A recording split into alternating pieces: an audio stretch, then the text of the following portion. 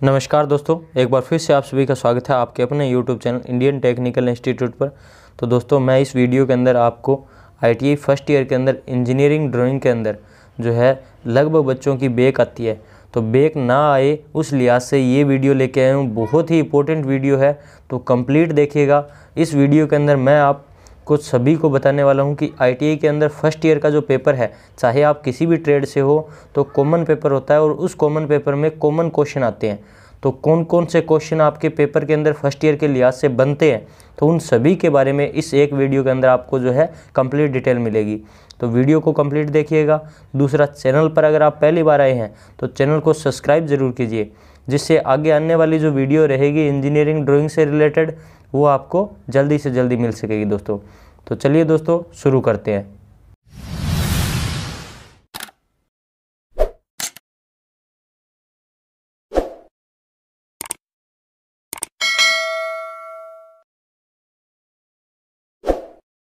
तो दोस्तों, आपके लिए सबसे पहला जो चैप्टर रहता है इंजीनियरिंग ड्राइंग के अंदर, वो रहता है इंजीनियरिंग ड्राइंग का परिचय। तो इंजीनियरिंग ड्राइंग के परिचय के अंदर आप देखिए, सबसे पहला है इंजीनियरिंग ड्राइंग का महत्व। तो इसके अंदर महत्व से रिलेटेड क्वेश्चन जो है पेपर के अंदर नहीं है कि इंजीनियरिंग ड्राइंग है क्या चीज़ इसके बारे में बताया जाता है बस। अब ड्राइंग सीट उसके बाद में विचार, अभिव्यक्ति के माध्यम से, इसके बाद इंजीनियरिंग ड्राइंग का अन्य तकनीकी ड्राइंग के साथ संबंध, आरेखन के दौरान अति महत्वपूर्ण सावधानियाँ, इनसे रिलेटेड पेपर में क्वेश्चन नहीं आता है दोस्तों। लेकिन पेपर में जो क्वेश्चन आता है वो देखिए इंजीनियरिंग ड्राइंग उपकरण।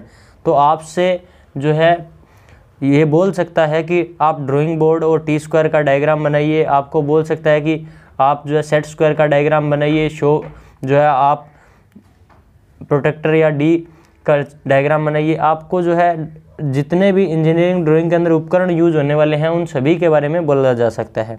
दूसरा इंजीनियरिंग ड्राइंग के अंदर कौन कौन सी सावधानियाँ, सामग्री यूज़ होती है तो सामग्री के अंदर जितनी भी सामग्री यूज़ होगी, उससे रिलेटेड जो है पेपर में क्वेश्चन आ सकता है। यानी कि औज़ार उपकरण और सामग्री, ठीक है ना? तो उससे रिलेटेड क्वेश्चन अब दूसरा, उसके बाद में है लाइंस यानी कि रेखाएँ। रेखाएँ जो है, उसके बारे में रेखा कितने प्रकार की होती है, कहाँ कहाँ यूज़ होता है, बहुत सारा मेट्रिक्स में मिलेगा। लेकिन आपको ये पता होना चाहिए कि लाइंस जो है कितने प्रकार की होती है दोस्तों। यानी कि आपसे केवल और केवल ये पूछा जाएगा कि जो आप सेंटर लाइन बनाइए हिडन लाइन बनाइए लॉन्ग ब्रेक लाइन बनाइए ये सीधा आपको नाम दिया जाएगा और आपको नाम देने के बाद में डायग्राम बनाना पड़ेगा। इसका मतलब आपको लाइंस जो है, उसके अंदर कितने प्रकार की है, आपको ये पता होना चाहिए दोस्तों। अब इसके बाद में अगर मैं बात करूँ, अगला जो चैप्टर है, उसमें है ज्योमेट्रिकल फिगर्स यानी कि जामितीय आकृतियों का आरेखन। तो इसमें देखिए, कोण है व्रत है, त्रिभुज है शक्काट है चतुर्भुज है, मुक्त हस्तचित्रण है, बहुभुज है। तो अब इसके अंदर देखिए, आपके लिए बहुभुज जो है यानी कि अब जैसे बोलते हैं ना, पंचभुज है छः भुजाओं के साथ में आकृति है, सात भुजाओं के साथ में है, यानी कि पेंटागोन है, हेक्सागोन है एप्टागोनल है, ओक्टागोनल है। आपको वो बोला जा सकता है कि वो बनाइए। और दूसरा, इसके अंदर जो है आपका शंकु आता है, शंकु के अंदर जो है आपका एलिप्स और पैराबोला वगैरह है, वो आ जाते हैं दोस्तों। आपसे ये नहीं बोला जाएगा कि आप जो है कोण बनाइए, तीस डिग्री का कोण बनाइए जो है नब्बे डिग्री का कोण बनाइए ऐसा तो नहीं बोलेगा सीधा। वर्त बनाने के लिए भी नहीं बोलेगा, त्रिभुज बनाने के लिए भी नहीं बोल सकता और चतुर्भुज बनाने के लिए। लेकिन ये जो दोनों है, इनके बारे में बोला जा सकता है। ये जो मुक्त हस्तचित्रण है ना दोस्तों फ्री एंड स्केचिंग इसके बारे में क्वेश्चन ज़रूर पूछा जाता है, लेकिन इसका क्वेश्चन यहाँ से नहीं आएगा। इसका जो क्वेश्चन आएगा, वो आपका औज़ार रिलेटेड चैप्टर में से आएगा, यानी कि औज़ार से बोलेगा कि आपको ये दो औजारों के जो डायग्राम है फ्री एंड स्केचिंग के थ्रू बनाइए। तो यहाँ पर इसका क्वेश्चन नहीं है औज़ार के अंदर आएगा, जब आगे आएगा तो मैं आपको बता दूँगा। अब, अक्षरांकन और अंकांकन। अक्षरांकन व अंकांकन के तरीके थियोरटिकली माध्यम से आपके कितने प्रकार के होते हैं, वो आपको पता होना चाहिए। क्योंकि आपको पेपर के अंदर वो बोल सकता है कि गोथिक लेटर बनाइए रोमन लेटर बनाइए इटैलिक लेटर बनाइए तो आपको कितने प्रकार के होते हैं वो बताने पड़ सकते हैं। तो इसके लिए आपको जो है अक्षरांकन व अंकांकन के कितने तरीके हैं, कितने प्रकार हैं, वो पता होना चाहिए, क्योंकि पेपर में एक लाइन देगा वो पर्टिकुलर और बोलेगा कि इस लाइन को आप गोथिक लेटर्स के अंदर लिखिए, या फिर वो बोलेगा कि आपको ये जो लाइन है, इसको सिंगल स्ट्रोक लेटर के अंदर, इतनी ऊंचाई के अंदर आपको जो है रोमन गोथिक या इटैलिक के अंदर लिखना है। तो आपको पता होना चाहिए कि रोमन कैसा लिखा जाता है, गोथिक कैसा लिखा जाता है और इटैलिक कैसा लिखा जाता है। अगर आप भी चाहते हैं कि मैं आपको वीडियो प्रोवाइड करूँ इन सभी की तो आप नीचे कमेंट सेक्शन के अंदर कमेंट ज़रूर कीजिए, जिससे मुझे पता लगेगा कि आपको इसकी ज़रूरत होगी तो मैं ज़रूर आपके लिए कोशिश करूँगा। जैसे ही मुझे समय मिलेगा, मैं आपके लिए वीडियो लेके आऊँगा। दूसरा, अब देखिए, विमांकन। विमांकन यानी कि डायमेंशनिंग विमांकन के प्रकार, ये एक इम्पोर्टेंट जो है, बहुत ही क्वेश्चन है। इसमें क्या होता है कि पेपर के अंदर ये जो है, विमांकन के प्रकार, कितने प्रकार की है, ये आपको पता होना चाहिए। क्योंकि पेपर में एक पर्टिकुलर डायग्राम देगा वो और उस डायग्राम को बोलेगा फिर से बनाइए और फिर से बना के उसकी जो माप है, कौन सा प्रकार है तो प्रकार का नाम दे देगा और बोलेगा इस प्रकार के अकॉर्डिंग डायग्राम की माप दिखाइए, ऐसा क्वेश्चन देगा। तो आपको डायमेंशनिंग या विमांकन के अंदर, विमांकन के जो प्रकार कितने होते हैं, वो उनके बारे में आपको पता होना चाहिए। नियम कौन कौन से हैं, ये आपके थियोरटिकली के माध्यम से आती है, ठीक है ना? विमांकन के अवयव कौन कौन से होते हैं इसकी प्रदर्शन कैसे करना है, ये सारी की सारी चीज़ें विमांकन के प्रकार जैसे जैसे आप उपयोग करेंगे साथ साथ में आपके तैयार होते रहेंगे। इसके बाद में बात आती है प्रोजेक्शन या फिर प्रक्षेप। तो प्रोजेक्शन क्या है? तो प्रोजेक्शन के अंदर जो है आपके डायग्राम बनते हैं, तीन एंगल आपको दिखाने पड़ते हैं, जिसके अंदर आपका यहाँ पर दिखाया गया थर्ड एंगल प्रोजेक्शन। लेकिन आपका हो सकता है कि आइसोमेट्रिक जो है वो आपसे पूछ लिया जाए। कोई ज़रूरी नहीं है कि आपको थर्ड एंगल ही पूछा जाए। तो हो सकता है आइसोमेट्रिक हो सकता है फ़र्स्ट एंगल हो सकता है थर्ड एंगल हो सकता है ओब्लिक व्यू तो प्रोजेक्शन इंपॉर्टेंट है. इसके अंदर ये इसके जो प्रकार है वो सारे के सारे इंक्लूड ही है. सारे के सारे इंपॉर्टेंट रहेंगे दोस्तों.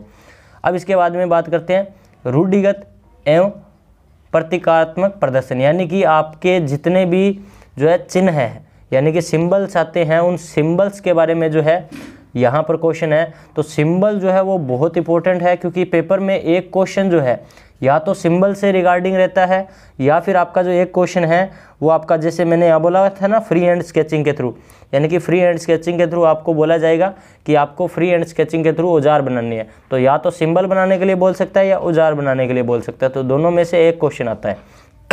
इसके बाद में, पैमाना या स्केल तो स्केल जो है कितने प्रकार के हैं तो वो आपको पता होना चाहिए स्केल के प्रकार कैसे बनाए जाते हैं, उनके बारे में पता होना चाहिए। स्केल के जो प्रकार है, उसके रिगार्डिंग आपका एक क्वेश्चन जो है वो पेपर के अंदर पूछा जाता है दोस्तों। अब देखिए, ठोस आकृतियों का आरेखन। इसके अंदर आपका जो है, सारे के सारे ठोस कोण आ जाते हैं, जैसे प्रिज्म आ जाता है, पिरामिड आ जाता है ठीक है ना? इसके अलावा आपके जो है शंकु आ जाता है, यानी कि कौन आ जाता है? इन सभी के बारे में जो है पेपर के अंदर क्वेश्चन पूछा जा सकता है कि आप एक पिरामिड बनाइए, शंकु बनाइए प्रिज्म बनाइए। तो ऐसा एक क्वेश्चन जो है वो पेपर के अंदर पूछा जा सकता है दोस्तों। अब इसके बाद में, विभिन्न औजारों का मुक्त हस्त चित्रण तो मैंने बोला था ना, मुक्त हस्त चित्रण जो है सीधा नहीं आएगा, औजारों से रिलेटेड जो चैप्टर होगा उसके अंदर आएगा। तो सीधा क्वेश्चन ना आके इसमें बोला जाएगा कि इस डायग्राम को फ्री हैंड स्केचिंग, यानी कि मुक्त हस्त चित्रण द्वारा बनाइए दोस्तों। तो अब इसमें वो बोल सकता है, दो कटिंग औज़ार बनाइए, दो मापक औज़ार बनाइए, दो मार्किंग औज़ार बनाइए, दो असेंबलिंग एंड डिसेंबलिंग औज़ार बनाइए, ठीक है ना, दो पकड़ने वाले औज़ार बनाइए, दो वेल्डिंग औज़ार बनाइए, मैकेनिकल डीजल के दो औज़ार बनाइए, चोट मारने वाले औज़ार बनाइए तो ये जो है आपके दो औज़ार इस तरीके से पूछ सकता है, या वो बोल सकता है कि ये पर्टिकुलर औज़ार बनाइए। यानी कि उस कंडीशन में क्या होगा, वो आपको कोई भी दो नाम देगा और नाम देने के बाद में बोलेगा कि ये दो औज़ार बनाइए दोस्तों। अब इसके बाद में देखिए, यहाँ पर आपको बोला गया थर्ड एंगल प्रोजेक्शन यानी कि ये देखिए थर्ड एंगल प्रोजेक्शन यहाँ पे अलग दिया हुआ था और ये यहाँ पर आपका एक अलग से चैप्टर ही आ गया। इस चैप्टर के अंदर आपका सबसे इंपॉर्टेंट चीज़ है, ये दो बार क्यों आया है? ये दो बार इसलिए आया है क्योंकि पेपर के अंदर इससे रिलेटेड क्वेश्चन आपका हमेशा रहता ही रहता है क्वेश्चन तो ये चैप्टर आपका, अगर पेपर की मैं अगर बात करूँ तो पेपर अगर आपका 50 नंबर का आता है तो 50 नंबर में से आपका जो है 20 नंबर केवल और केवल एक अकेला ये क्वेश्चन लेके जाता है दोस्तों 20 से 25 क्वेश्चन नंबर जो होते हैं, वो एक अकेले इस क्वेश्चन के होते हैं।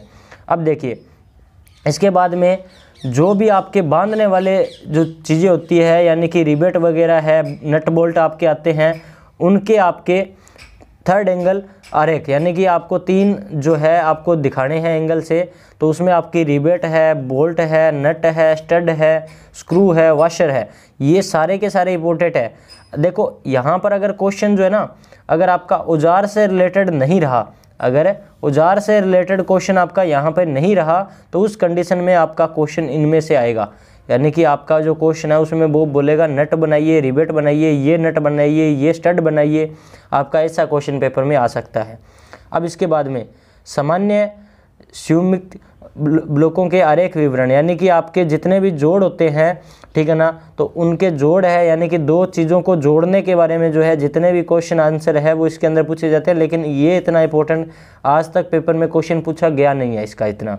तो ये क्वेश्चन पेपर इतना इंपॉर्टेंट कह नहीं सकता, लेकिन हाँ ये जो है, किससे जोड़े जाते हैं? यानी कि लेप जोड़ बनाना है, बट जोड़ बनाना है। तो जोड़ बनाओगे किससे? रिबेट से बनाओगे नट बोल्ट से बनाओगे? तो इनके बारे में क्वेश्चन जो है, वो पूछा गया है और आगे भी पूछा जा सकता है। तो ये जो थे, ये आपके तेरह चैप्टर हैं फ़र्स्ट ईयर की ड्राइंग के अंदर। तो तेरह चैप्टर अगर आप फ़र्स्ट ईयर की ड्राइंग के लिहाज से अगर तैयार कर लेते हैं दोस्तों तो आपके पेपर के अंदर जितने भी क्वेश्चन आएँगे, वो आपको सारे के सारे जो क्वेश्चन है अटैम्प्ट आराम से कर पाओगे। तो इतने यहाँ पर आपको लिखे हुए दिख रहे हैं मार्क किए हुए दिख रहे हैं। तो अगर आप पुराने पेपर उठाएँगे या आपका आगे आने वाला पेपर उठाएँगे तो उसमें इन्हीं में से आपको क्वेश्चन देखने को मिलेगा, इससे बाहर क्वेश्चन देखने को नहीं मिलेगा। आप देखिएगा, अगर आपके पेपर में भी इसमें से ही क्वेश्चन आया है तो नीचे कमेंट सेक्शन के अंदर कमेंट ज़रूर कीजिएगा। जिससे क्या होगा कि जो आगे आने वाले बच्चे हैं, वो कमेंट देखेंगे तो उनको भी पता लगेगा कि वीडियो इंपॉर्टेंट है और उनके अंदर से क्वेश्चन जो है, वो आए हुए हैं दोस्तों। तो उम्मीद करता हूँ कि वीडियो आपके लिए काफ़ी इंपॉर्टेंट रही है, और चैनल पर अगर आप पहली बार आए हैं तो चैनल को सब्सक्राइब ज़रूर कीजिए, और वीडियो को लाइक ज़रूर कीजिए, जिससे क्या होगा कि हमारा भी थोड़ा सा मोटिवेशन बढ़ेगा दोस्तों।